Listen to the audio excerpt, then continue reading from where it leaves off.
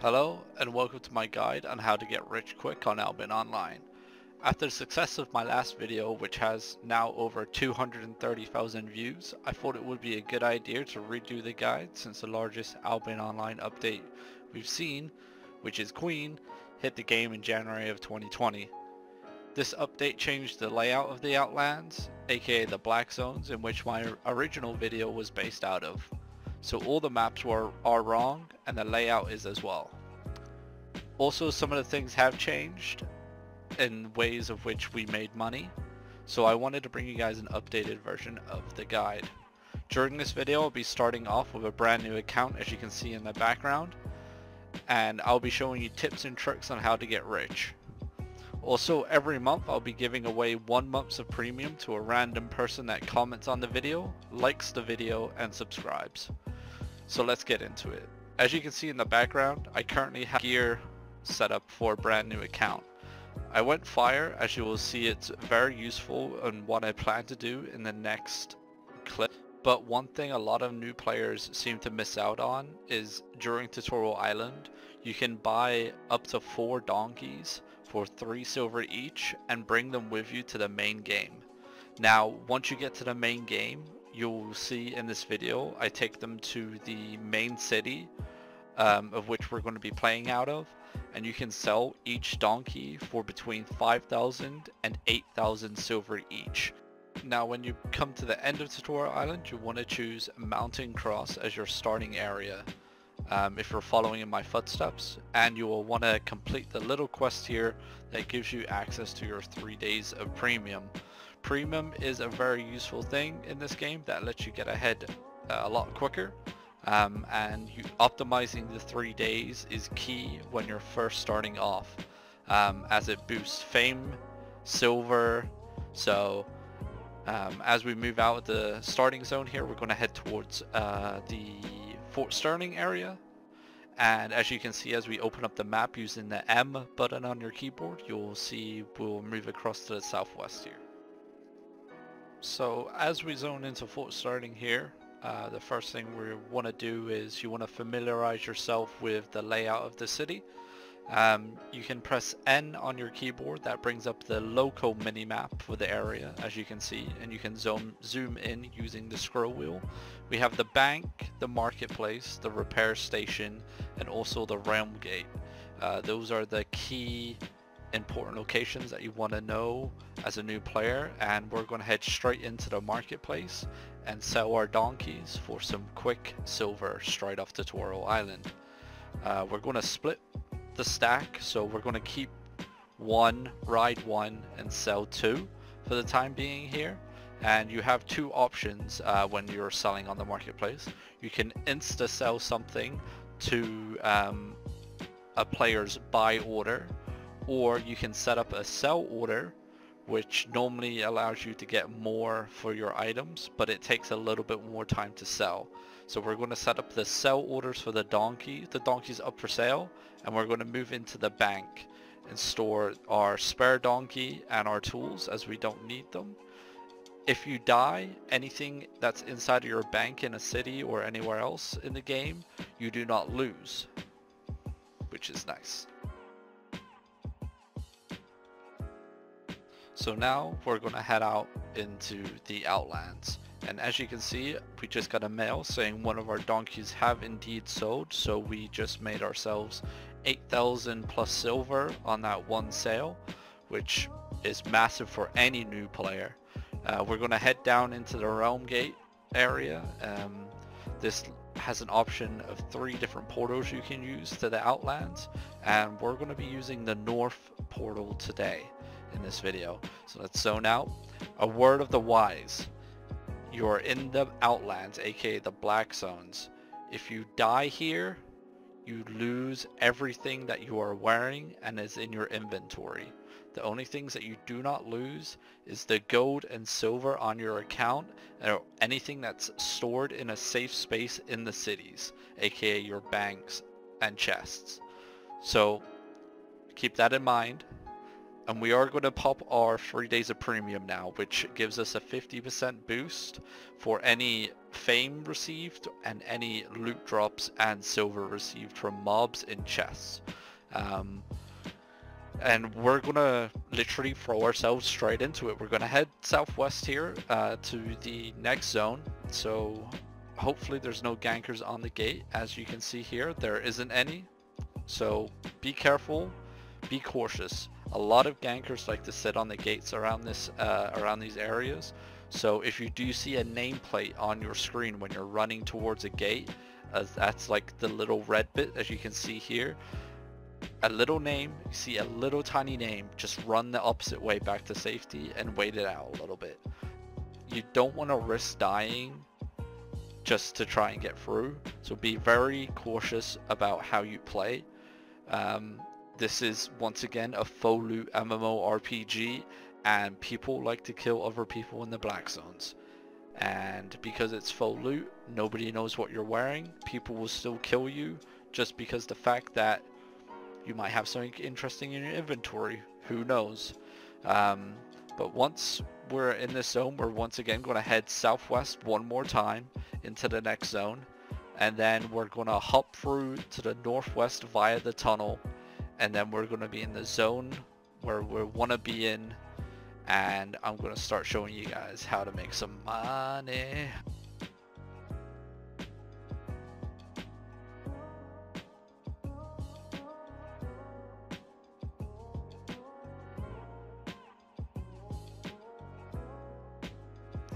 So here we are, our main zone that we're going to be focusing on pretty much throughout the video.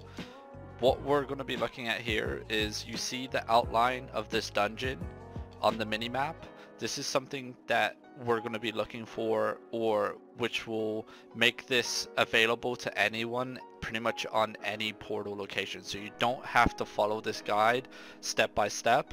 All you have to look for on the world map is an area that has that same portal layout. So you can open up the world map using the M button and you can zoom in onto locations and you'll be able to see um, like a little fortress or a blue dungeon area and if you click on that and it comes up with the same layout as you see uh, on the little pop-up that means those dungeons will have the exact same layout as the ones that I'm entering other dungeons have mobs guarding the chests.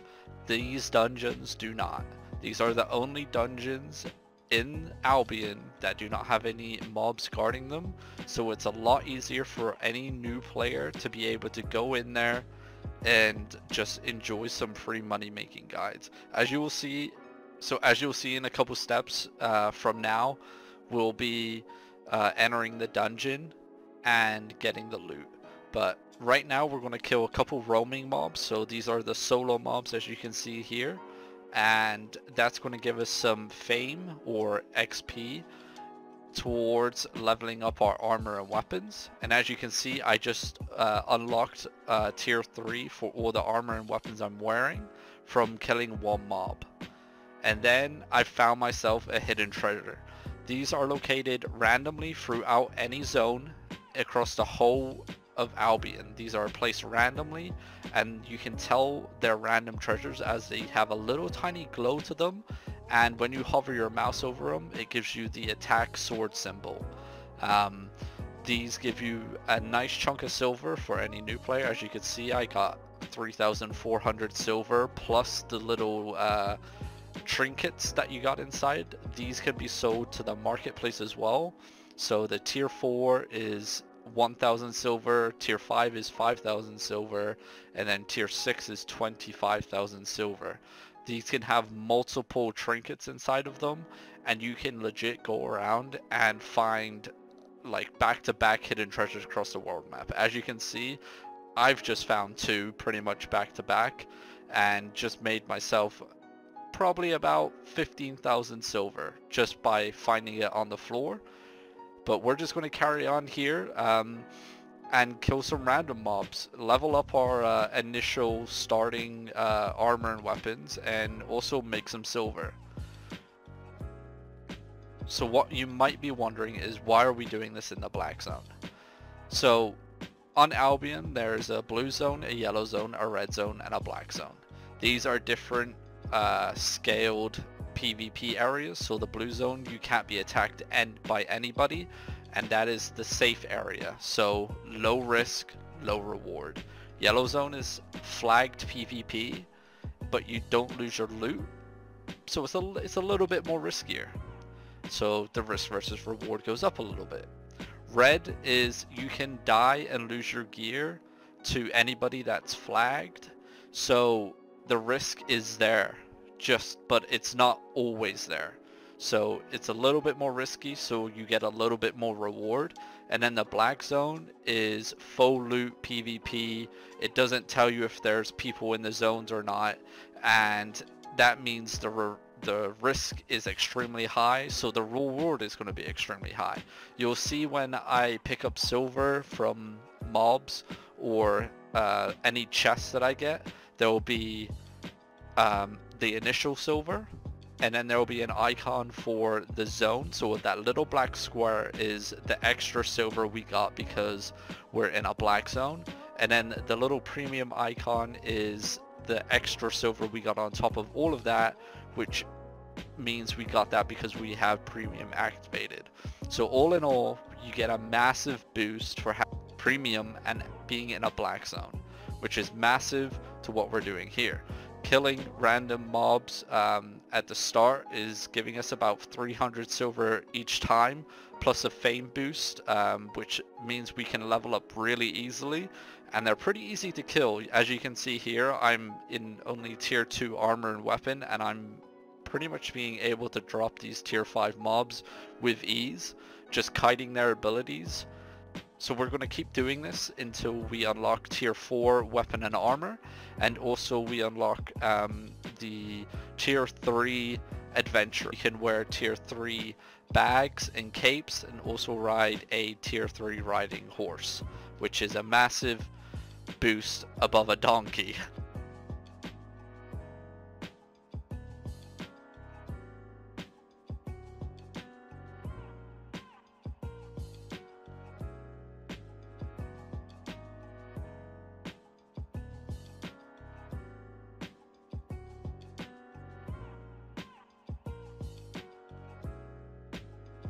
So here we are at the front of the dungeon that I talked about earlier and we're just going to hop in. You can't go in mounted so make sure you dismount before you go in and we're going to head to the northwest here. Um, don't worry when you get knocked down by mobs you just wait out the timer and you pop back up again. So we're going to get back up here and once you get back up from getting knocked down by mobs you have a little protection timer, I think it's about 20 to 30 seconds where none of the mobs aggro you or attack you. So you can just run right on through all these mobs and down into the crypt of the dungeon. This is where we're going to be making the most of our money throughout this video. So I'm just going to speed this up a bit as it's going to take quite a while for us to kill the uh, chest here just in our tier 2 armor and weapons without any poison potions or damage boosting food. So as this goes down in the background, this currently has two chests in the lower floor where we currently are. Obviously the first location is on the north corner and then the second one is just to the south, pretty much the opposite side of the uh, map here and you'll see it soon enough in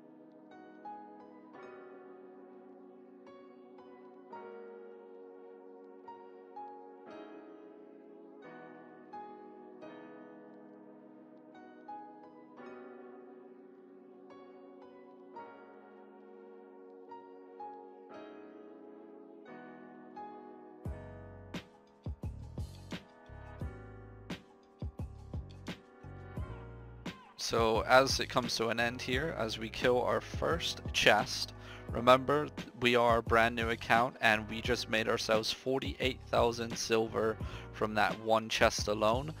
And on top of that, we also were able to obtain a couple ruins and relics and souls of different tiers, which we can sell later on in the marketplace.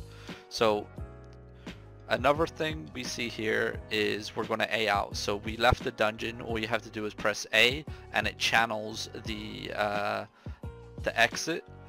If you do get attacked, um, it does cancel it, so you can't A out while getting attacked. So just keep that in mind. If you are getting chased down by another player or getting hit by a mob, you cannot leave. But the main reason we aid out is because every two and a half hours you see the little chest icon that's on the map here to our eastern corner. These are little relic locker chests and inside of them, if you're able to get to them in time before anybody else and open them, you are rewarded with a lot of money. Um, as we ride up here, I was pretty curious about why nobody was there actually opening the chest. It's quite rare that people don't show to these as they're highly contested as they do give a lot of good loot. And to my surprise actually no one no one showed up so a brand new player like myself right now finding one of these chests is highly rewarding um, as you will see in a minute, once I get to the chest, as we move in super slow motion on our donkey across the field, the chest is going to be cleared. There's no one around. There's no name tags. There's no nobody. And we're going to have this chest to ourselves. It's a channeled, um, once again, it's a channeled ability. So you're going to have to sit there and pretty much pick the lock to the chest. Um, if you anybody else comes up and does damage to you, it cancels the channel but inside we do find ourselves a lot of T6 treasure or trinkets, Toma Insights which are 35,000 silver each at the moment, and also two bags of silver which came to 100k in total. And right now, I have a lot of money on me for brand new player and I do not want to die. So we're going to head back to the city to hopefully make it back alive and then sell our items onto the marketplace and see how much we're able to obtain. We made it back alive and in one piece without getting ganked, which is always nice to see. So we're going to zone back into Fort Sterling here and make our way to the marketplace and sell our goods and see how much money we made on our first run out into the Outlands. A good thing to note here is um, you can always buy your items back off the marketplace if you died. So you don't have to go around making your own items, uh, armor and weapons, and your mounts. Everything can be bought on the marketplace. Just keep that in mind. So here we go. We're going to go sell all our items here. We're just going to quick sell all these uh, trinkets pretty much uh, to the market for players buy orders for them. Not going to waste time and sit around listing our own. You may want to do so to make a little bit extra money. As you can see, the prices do jump up and down uh, compared to like an insta-sell to a sell order. So keep that in mind. Um, but as you can see here, I'm just insta-selling everything. See, Toma Insights here. The difference was about 30k silver, but I'm just going to insta-sell them for the video for 389k. Uh, same with these uh, tier 6 uh, trinkets, we're just going to insta-sell them and see how much money we make. And in total on our first Outlands run, we are up to 774k silver. Remember, this account is brand new off the Toro island and probably under about an hour old right now. And right now, I'm just going to buy myself my tier 4 gear, so we're upgrading so we're going to get ourselves a Scholar Cowl for a helmet, a Cleric Robe body uh, for the body obviously, uh, Soldier Boots for the Wanderlust spell, uh, Blazing Staff for the fire, and then a tier 3 cape and bag, and on top of that a tier 3 riding horse. We're going to be pretty much fully upgraded on our gear now until later on when we can unlock tier 4 horses and bags and capes and obviously going into the future, tier 5, tier 6, tier 7, tier 8 armor and weapons. So the spells we're using here is the shield on the helmet, um, the shield on the body, the Wanderlust and the carry weight on the boots, and obviously the burning field on the blazing and keeping everything else as is. Um, we're also going to get ourselves some tier 4 stew which gives us a 5% damage increase and tier 4 poison pots. So we're going to buy 10 of those as well for our next round into the Outlands. So we made it back out into our zone and as you can see I found myself another hidden treasure. And we're going to pick up some extra silver and some more trinkets. But one other thing now that we've upgraded our gear we do a lot more damage and we have a lot more defensive spells. So here we have a mob camp with a chest in it. Um, it's guarded by a couple mobs so what we're going to do here is set ourselves up. Uh, the blazing is an AoE um, spell so it's going to do a lot of damage quite quickly to these uh, mobs. As you can see here I drop it on the ground followed by my Q which is another AoE spell and I drop my shield um, on it as well and I keep using my Q as it's the shortest cooldown ability um, I'm going to be able to kill these mobs with a pretty much ease and I'm going to get my new Destiny Adventurer so I do a little bit more damage. As you can see I made 6,800 silver from the chest and I was able to get a ruin as well. It's a little bit hit and miss on loot wise but it's always worth killing the chests for the silver drops as it does vary. Sometimes it's 5,000, sometimes it's all the way up to about 15,000 silver per chest. So here we are back down in the chest area and we're going to be doing a lot more damage so we can kill the chest a lot quicker now. We have the poison potions and obviously the blazing staff puts out a lot more damage and it's going to be a lot quicker, probably about a minute-ish compared to before when we were in our two, tier 2 gear which was about 4 minutes. So as we bring the chest down we're going to get ourselves another extra 45,000 silver, a bunch of ruins and relics of different tiers, and now I'm going to show you the next location of the other chest in this dungeon. So we're going to avoid the middle area as it does have mobs in it, so you're going to have to follow the route I'm taking currently, and it's just down to our south here.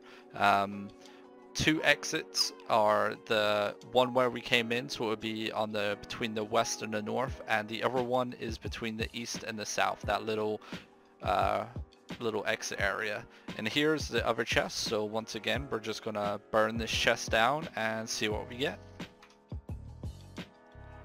So these chests do respawn on a 20 minute timer after they were destroyed so keep that in mind.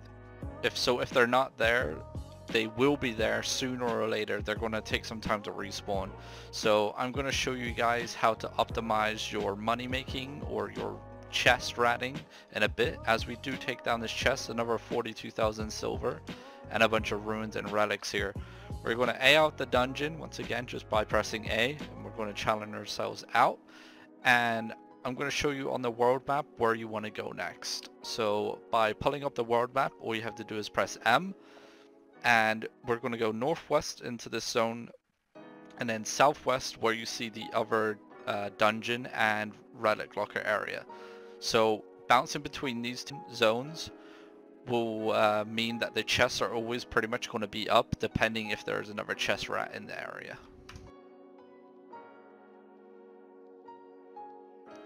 So I left it in the background of me running through the next zone just to give you guys a slight idea of the way that I'm, I move around the map. Uh, sticking to the edge is always the best bet um, of any traveling. You don't want to stick to the roads too much as that's where other players are most likely going to be, other gankers and such. Um, and we're just going to make our way to the next dungeon here. As you can see the exact same layout on the outside as, as the other one, which is what we're looking for. Inside, it's going to be exactly the same as well. Same mob layout, same map layout, so you don't have to worry about getting lost. Obviously, once again, you're going to get knocked down. Don't worry about it. It's just going to cost you a little bit of silver when you repair when you get back to the city. And here are the chests once again. I'm going to speed it up in the background. Everybody's seen that chests get burnt down by now and nobody else really needs to see it so just going to speed it over until we get to the loot here as I do believe we do get uh, some extra black market loot this time round from these chests so these chests do have black market loot attached to them As you can see, 42,000 silver, and we get a tier 6 nature staff and a 7.1 soldier armor, along with other ruins and relics. A nice boost to our silver. I'm pretty sure that soldier armor in the end sells for about 200k, if I'm not mistaken. So once again, really good money making method. We're only about maybe two hours into this account being made and we're already pretty much over 1 million silver once I sell everything. We do have another chest once again to our south, so we're gonna go ahead and kill this one and uh, see what we get. So as the chest goes down, we're gonna obviously get ourselves some more silver, which is always nice. And sadly, no extra black market loot, but we did get a T8 ruin uh, and some of our relics and such. So once again, silver is always going to be there. Black market loot's not always going to be there, but there is always going to be something inside the chest. And one other area I wanted to point out on uh, the map is this area here. It's uh, indicated on the map as the big uh, silver uh, little chest area. And as you can see here we have little urns on the map and there's also silver on the ground. So these urns uh, when smashed so when you attack them and break them open they vary vary in terms of how much silver is inside. Sometimes there's like on the lower end which you just saw which is 317 silver each or sometimes it goes all the way up to about 600 um, and there's a lot of them around this area on the on the map so it's always worth going to and getting a little bit of extra money while you wait for chests to respawn. So the big relic locker on the map here spawns every six hours I believe and inside of that if you're able to sneak one away by yourself you're probably looking in the region of about two to three million silver worth of items but um it's very rare that these go untouched other than like large scale groups that come and take them. So lastly, I want to touch on your Adventurer Challenge and Solo Dungeons. So as you see here, I'm currently outside a green portal and I'm going to click on it and it channels me inside. Be aware, uh, just because we call it a solo dungeon doesn't mean it's just you inside. It could be any other player. It could be a group of players. So just be wary of that. And what we're going to do here is just try and go ahead and clear the mobs one by one and get ourselves some extra fame. And every time you earn fame, you'll see um, the little key icon and a number next to it. This means that's the number that you've just gained towards your adventurer challenge. And the adventurer challenge is pretty much your daily, weekly, and monthly uh, login bonus type thing for playing the game. You know, like every every MMO has it, and it gives you a reward for completing your daily active um, bonus. So you're required to earn, I think it's 1,200 per day of like the daily bonus thing or like the daily activity. Uh, this could be done by gathering uh, by killing mobs, etc. You can't get it by killing players or by crafting, I believe. So just keep that in mind. Uh, solo dungeons are probably your best way to do this. Um, it's quick, it's easy, and it's a good reward at the end of the day. It doesn't take too long either. Um, and the rewards are pretty good. So completing your daily challenge gives you a tome, which then gives you 2000 fame uh, towards your armor and weapons that you currently are wearing and you get that every single day after you complete your daily bonus and also um, if you're a non-premium player you complete the the challenge every day you also get I think it's 10 or 20 learning points to use so it's one other way of uh, allowing players to get learning points if they're not premium but what you're going to be aiming for in these three days as a new player is optimizing your playtime and completing these daily challenges. So you get a bonus 50,000 points towards your monthly challenge or your weekly challenge and that allows you to unlock on your weekly challenge um, these chests. So you need 150,000 points in total. So that's three days. So if you do it right um, while activating your three days of premium you can claim your chest at the end of it. Um, this allows you to open up a chest that gives you random loot rewards. You're looking at I think it's on average about either 2 to 500k depending how lucky you get in terms of loot um, but still, it's a nice little added bonus, and obviously free silver is free silver, and you're just going to be regularly playing the game. It's not going to force you to do anything you don't really want to do, so to speak. And as you can see here, I just completed it. I got my Tome of Insight unlocked, and I'm going to open it up, and I got my 50,000 points. So there it is. I claim my book, and I can use it here. It gives me 2,000 fame. And you will also see if I open it back up again the chest that I unlock obviously 150,000 points needed. And once you become a full 30 day premium member you can unlock a, a unique mount every month which they bring into the game. That's pretty much it for the guide. Um, thank you for watching um, what I didn't show is a couple extra runs in that time period of me playing.